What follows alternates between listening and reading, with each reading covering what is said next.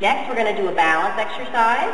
So he's going to stand up nice and tall, arms out to the side, chin up, and when I say stomach muscle strong, just like he's ready for me to punch him in the stomach, okay? Or I tell girls sometimes to pretend you're in a bikini. And then that keeps everybody nice and strong. Roll your shoulders back, good posture, arms out to the side, and he's going to lift his right knee, and then lower it down.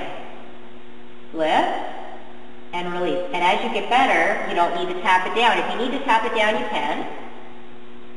So you're working your leg, you're working your core, and you're challenging your balance, which is a really big part of fitness, okay? As we age, we lose our balance if we don't practice this, and it comes back really quick, and then you're going to do the other side. So 12 to 15 lifts on one side, and then you're going to do the other side. And if you need the wall, you can put your fingertips just against the wall, that's not cheating, okay? That's just a tool to help you until you're strong enough or have good enough balance that you can let go. So yeah, I, I would do them close to a wall in case you need it. And like I said, that's not cheating. That's just giving yourself the tool to do it properly. So next we're going to do a core exercise. So that was our lower body, our upper body, our balance, and our core. So you're going to get down on your hands and knees. And if you need a mat, on your hands and knees in what we call table position. So your hands are below your shoulders and your knees are below your hips. So you want to spread your legs a little bit. Okay, your back's nice and straight. You're looking down at the floor just ahead of you.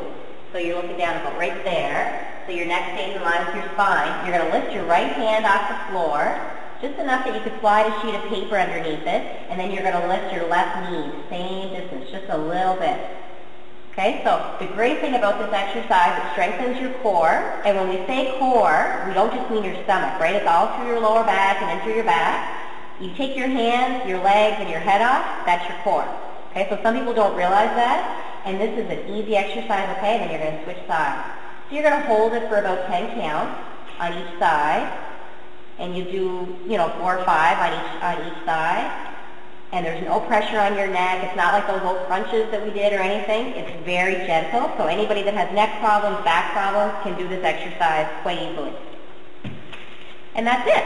That's it. That's a full body workout and you go through it a couple times. Start with one and then maybe go through it twice the next time, up to three times.